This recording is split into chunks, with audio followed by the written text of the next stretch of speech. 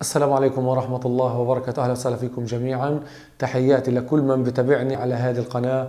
أهلا وسهلا فيكم جميعا. طبعا أحباب إحنا في سنة جديدة سنة 2022 وإن شاء الله تكون خير علينا وعليكم. تعرف عليه كل يوتيوبر بحط أهداف قدامه بحطش بده يعمل في سنة جديدة. طبعا إحنا أهدافنا واضحة إن شاء الله وأهدافنا لسنة 2022 إن شاء الله راح تكون بسيطة. راح إن شاء الله نوصل ل 100 ألف مشترك إن شاء الله في خلال السنة هذه. بإرادة ربنا وبدعمكم يا أحباب راح نصل لل ألف مشترك وإن شاء الله راح تشوفوا محتوى يعجبكم ومحتوى مميز حيكون. وبنهنيكم إن شاء الله في السنة السعيدة هذه سنة 2022 وإن شاء الله تكون سنة سعيدة عليكم وعلينا وتتحقق كل أمانيكم إن شاء الله وتحققوا كل أحلامكم. وشكرا على دعمكم لآخر فيديو وشكرا على تعليقاتكم الحلوة تعليقاتكم المميزة وشكرا لكل من علق ودعمني في هذه القناة. طبعا إخوان خلوا التعليقات مستمرة ودعمكم مستمر للقناة وخلينا نبدأ على بركة الله. ليلة هادئة مع سانتا كلوز الشرير كريم ولطيف وجميل. رمز الفرح والسعادة. مصدر للهدايا والمفاجآت. أظن الكل بيعرفه. بابا نويل أو سانتا كلوز. هذا العجوز اللي له خدود وابتسامة عريضة. ولحية بيضة. ولابس زي أحمر. بلف على المنازل عشان يوزع هدايا. في راس السنة. على الأطفال ويزرع الفرحة في قلوبهم. هذا العجوز أيقونة للعطاء والطيبة. لكن للأسف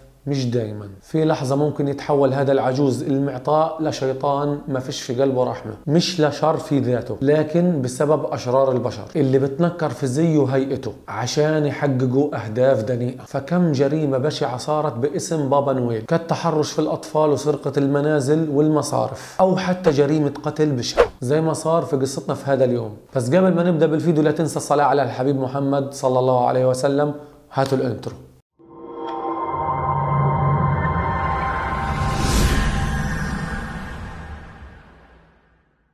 في عيد الكريسماس عام 2008 من أغرب الجرائم اللي ممكن تسجلها كتب التاريخ في يوم من الأيام. بروس المجنون تنكر في زي بابا نويل أو سانتا كلوز وقتل عائلة كاملة. خلينا نشوف مين هو بروس باردو. طبعا قبل ما نبدأ بحادثة جريمة القتل لازم نتعرف بالاول على مرتكب هذه الجريمة وبعدين نتعرف على تفاصيل الحادثة. بروس باردو يعيش في كوفينا في الولايات المتحدة الأمريكية. مجرد شخص بسيط. تربى تربية بسيطة وهادية. الحالة المادية لأسرته كانت كانت متوسطة وكمل تعليمه في ظل هذه الظروف. وكمان تزوج زواج مبكر يعني تزوج بالسن صغير لحد هان ممكن نقول إنه حياته برضه كانت سعيدة وكل شيء تمام. استمر زواجه لمدة خمس سنوات. في هذه الفترة ما أنجب ولا طفل. وبعد شهور من السنة الخامسة كانت الصدمة والكارثة في حياته. وزوجته طلبت الطلاق منه. كان طلب غريب ومفاجئ في نفس الوقت. بالنسبة لبروس نفسه وحاول كتير يمنع هذا الانفصال لكن المحكمة كان لها رأي تاني. وفعلا اتطلقت زوجته منه.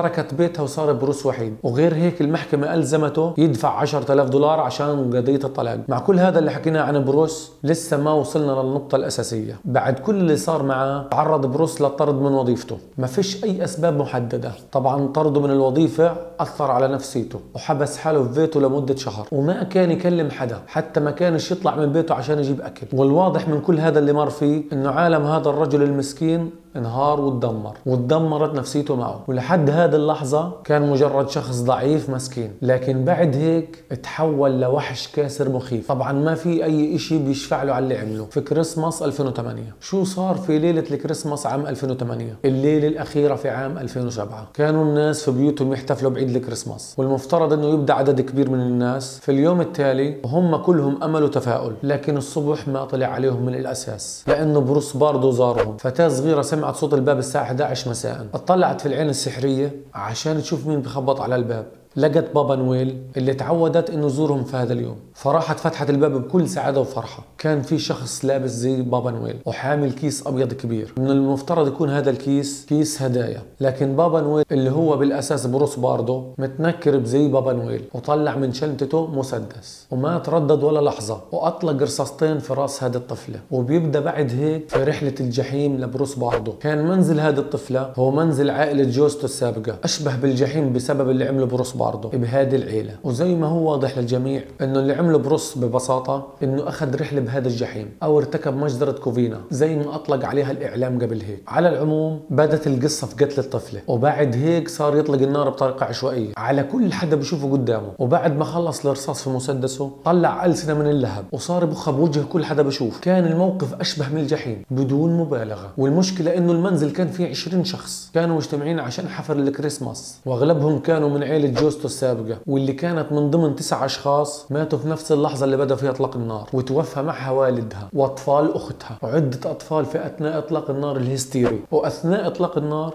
تمكنت أخت زوجته السابقة وبأعجوبة إنها تصل للهاتف وتطلب الشرطة وتخبرهم عن هوية القاتل. ولمحها بروس باردو فورا قتلها. وبعد أربع دقائق بالضبط من المجزرة اللي عملها بروس انتهت الذخيرة اللي معاه. وقرب وصول الشرطة للمكان. وقبل ما يطلع من المنزل حرق المنزل كله باللي فيه. وصار زي الهيكل العظمي. وبعد ما خلص المجنون هذه المهمة راح على منزل تاني. بيبعد حوالي 30 ميل عن الجحيم الأول أو المجزرة الأولى. وكان هذا المنزل لأخوه لكن أخوه ما كانش في البيت. ورجع للجحيم مرة تانية. لكن هذه المرة ما قتلش حدا. طلع المسدس وطخ حاله ثلاث رصاصات. وما استنى الشرطة وما استنى أي شخص عشان يوضح اللي صار. مات واندفن سره معاه. مات وترك وراه نظرة مختلفة عن بابا نويل. على أساس أنه رجل الحب والسلام. مات وغير النظرة عند الناس. بعد هذه الحادثة الغريبة بدأت الناس تدور على كل شيء تركه بروس. متأملين أنهم يوصلوا لتفسير مناسب للمجزرة اللي ارتكبها بروس لكن في النهاية ما لقوا شيء وظل هذا الأمر لغز. ومن هنا بدأت النظريات والتحليلات. في منهم بيحكوا أنه زوجته طلبت الطلاق عشان تتجوز من شخص ثاني ولما عرف بروس انجن وراح عشان يقتلها. وقتل كل اللي بيمت إلها بصلة. وفي منهم حللوا وقالوا إنه مدير بروس في العمل طرده بتوصية من جوزته. عشان هيك انتقم منها. هذا الانتقام الكبير. وفي منهم قالوا إنه بروس انجن لأنه كان وحيد لفترة طويلة وطلع هذا الجنون على زوجته. وكمان حكوا إنه هذه الحادثة ما كانت الجريمة الوحيدة اللي ارتكبها. ارتكب قبل هيك عدة جرائم وما ترك دليل وراه. من أغرب التحليلات اللي طلعت بعد الحادثة قالوا إنه بروس تعاون مع شيطان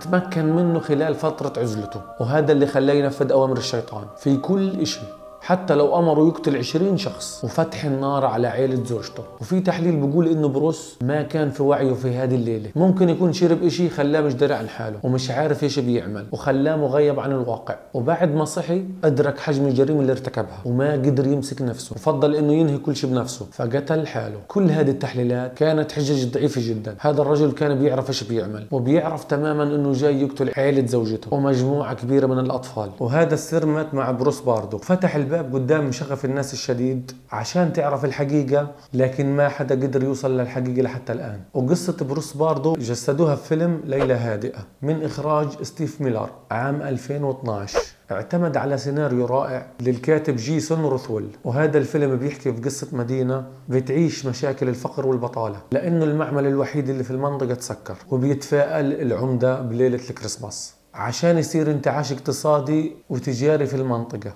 لكن هذا الأمان سرعان ما تحول لجحيم بسبب شخص مريض نفسي. بيلبس ملابس بابا نويل وبتجول بين الناس في ليلة الكريسماس. زي ما عمل المجرم باردو لتعيش المدينة ساعات من الرعب والخوف أمام بشاعة هذه الجرائم وهمجية المجرم والمخرج أعطى نكهة خاصة للقصة الحقيقية. وما نسي يذكرنا بأول ضحية لباردو وهي طفلة عمرها 8 سنوات. وفعلا الفيلم جدير بالمشاهدة وبيحمل رسالة لا تثق أبدا بشخص يقدم الهدايا. وأصدقائي في ختام قصتنا حسب ما ذكرنا بقصة بروس صرنا نفهم بقيمة الدمار النفسي واللي بيعمله بحق الإنسان. وبكل بساطة صرنا نعرف إنه تدمير نفسية الناس زي قتلهم تماما. كما عودناكم لا تنسوا الصلاة على الحبيب محمد صلى الله عليه وسلم. طبعا إخوان لا تحرمونا من التعليقات الحلوة ودعمكم بهمني يا إخوان.